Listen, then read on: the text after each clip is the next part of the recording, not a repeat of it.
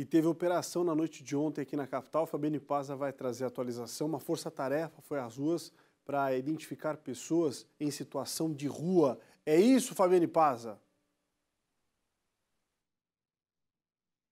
É isso, Polito. Não por acaso essa força-tarefa aconteceu em uma das noites mais geladas do ano aqui na capital catarinense. E a força-tarefa desta vez foi considerada a de maior sucesso pelas equipes que realizam essas abordagens às pessoas em situação de rua aqui em Florianópolis. A gente lembra que essa força-tarefa conta aí com a participação do Ministério Público, dos agentes da assistência social, além das polícias que também dão suporte ao trabalho dos agentes.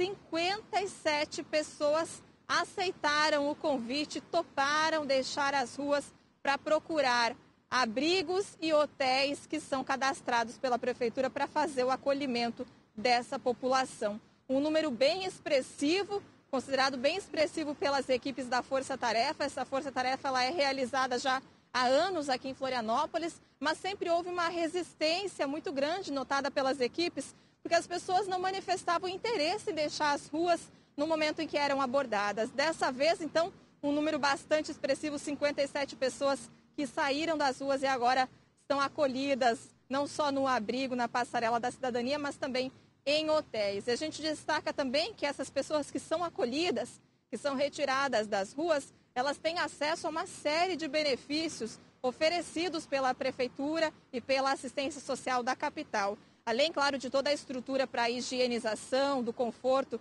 para pernoite, de alimentação, também tem cursos, tem profissional, cursos profissionalizantes e oportunidades para que essas pessoas busquem a recolocação no mercado de trabalho. Certamente é o que será oferecido nos próximos dias a essas mais de 50 pessoas que aceitaram o convite nessa última operação e agora já integram então esse sistema de assistência social aqui da capital, Polito.